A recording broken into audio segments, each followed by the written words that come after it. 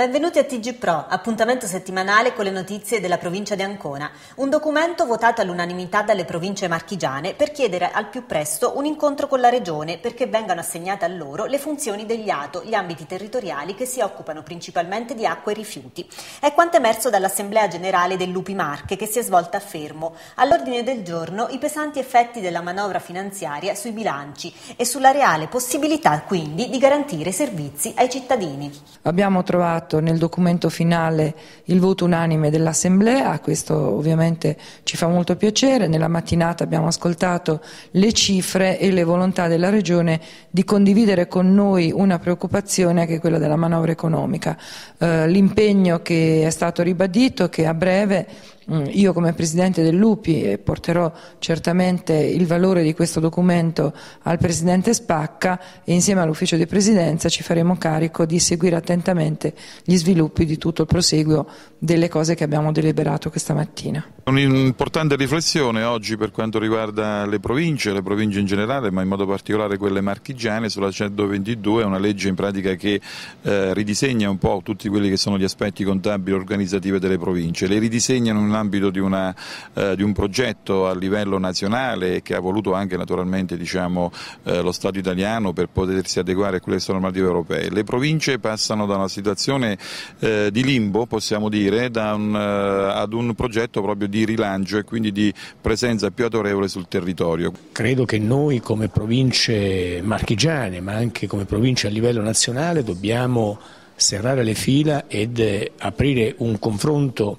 forte con il governo perché si riconosca veramente quella che è l'autonomia delle province, che si riconosca finalmente che i tagli di una manovra economica pur necessaria non possono ricadere sugli enti, sugli enti locali, perché poi succede questo, che se Tremonti conviene che noi siamo necessari come istituzioni di province per esercitare queste funzioni, e quando poi non, non, ci riusciamo per mancanza di risorse, che cosa noi gli raccontiamo ai cittadini dei nostri territori? Questo è il punto di domanda al quale ci deve rispondere il Ministro dell'Economia. Noi siamo in una, in una teorica, discussione, teorica, discussione, sul federalismo fiscale che nella migliore delle ipotesi sembra che andrà in porto, ne vedremo gli effetti da 3-4 anni in questi 3-4 anni ci sarà l'antifederalismo, cioè un meccanismo di centralizzazione delle risorse a discapito dei territori e questa mi pare una delle classiche anomalie italiane dove si parla di una cosa e nel frattempo se ne fa esattamente un'altra.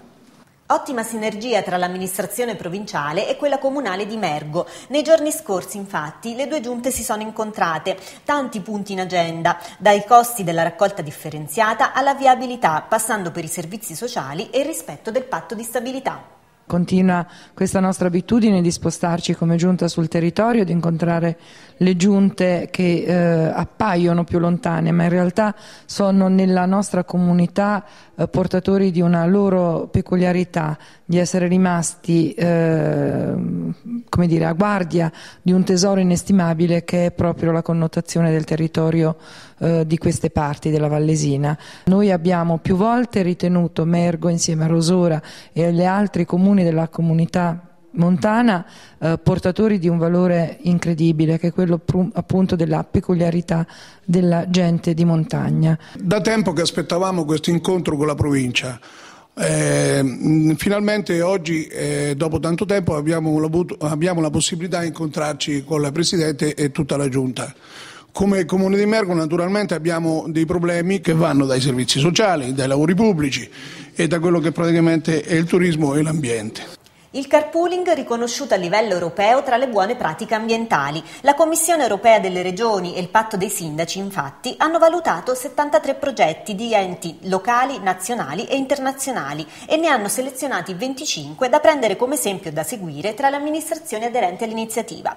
E tra 10 progetti italiani scelti c'è anche il carpooling della provincia di Ancona, o meglio By Car Together, così come è stato ribattezzato. Ma noi siamo stati ehm, abbastanza sorpresi anche che una buona pratica che noi avevamo applicato eh, venisse riconosciuta tra le 25 migliori pratiche europee delle regioni e delle grandi città europee. Siamo rimasti abbastanza meravigliati perché quella che per noi è un approccio di normalità verso la sostenibilità ambientale diventa invece una best practice per eh, ecco, le realtà europee per il patto dei sindaci.